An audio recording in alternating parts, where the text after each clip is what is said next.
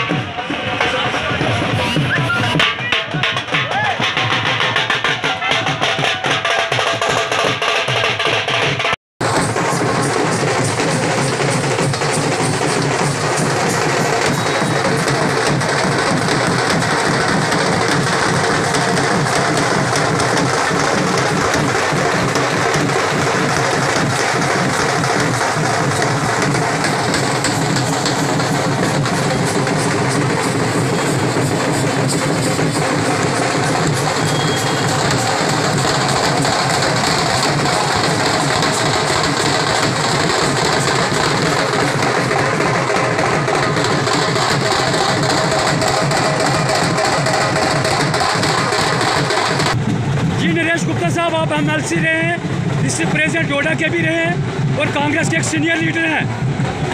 कांग्रेस कमज़ोर हुई है, इसमें कोई शक नहीं है। ये सब नेताओं को पता है। आज गुलाम नबी साहब का आप स्वागत करने आए क्या उम्मीद रखते हैं आप जनता के प्रति जम्मू में खासकर जम्मू परवंश की बात करते हैं? आपने बहुत अच्छा सवाल किया। अभी तो मैं यही बताऊँगा कि आप यहाँ जम्मू में जाइए। जम्मू की हर गली, हर कोचा, हर सड़क पे इस आज़ाद साहब को रिसीव करने के लिए लोग, कांग्रेस के लोग सिविल सोसाइटी समाज से जुड़े हुए तबके के लोग सब आए हैं। ये ज़ाहिर करता है कि गुलाम नबी आज़ाद की मकबूलियत, उनका यहाँ, उनको लोग कितना दिल से चाहते हैं, कितना प्यार करते हैं।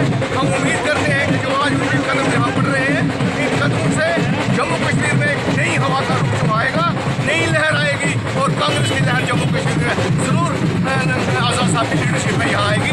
हम यही उम्मीद लेकर यहाँ गुलाम नबी आज़ाद साहब, जो आज यहाँ तशरीफ़ ला रहे हैं इस मंदिर के शहरों में आ रहे हैं। सब लोग यहाँ से लेकर हम जाइएगा।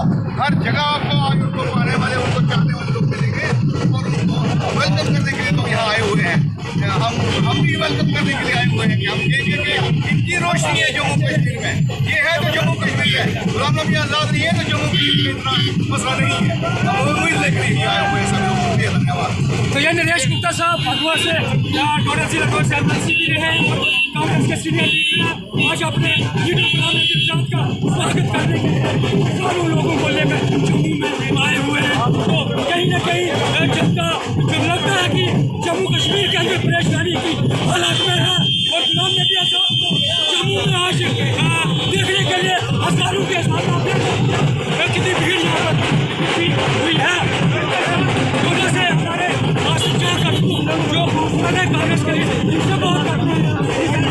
डोडा से आए हैं। क्या उम्मीदें हैं सीधा गोडा के लोगों को बहुत उम्मीदें थी। लेकिन नहीं हो रहा। सरकार चाहती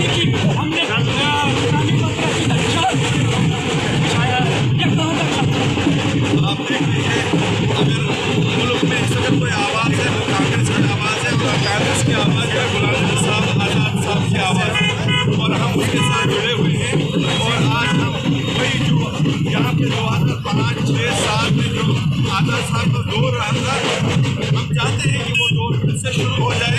यहाँ जो हम पीछे रह गए चार पाँच सालों में, हम चाहते हैं कि ये ये जो हम हम बैकअप पे आ गए पिछले पाँच सात साल में, पाँच सात साल में हम बैकअप पे आए हम चाहते हैं वो सिलसिला फिर शुरू हो जाए, ताकि जो हम पीछे रहे और आधा साहब जिस तरह सामने हम चल हम कांग्रेस से अपील करेंगे कि उनको यहाँ पर यहाँ पर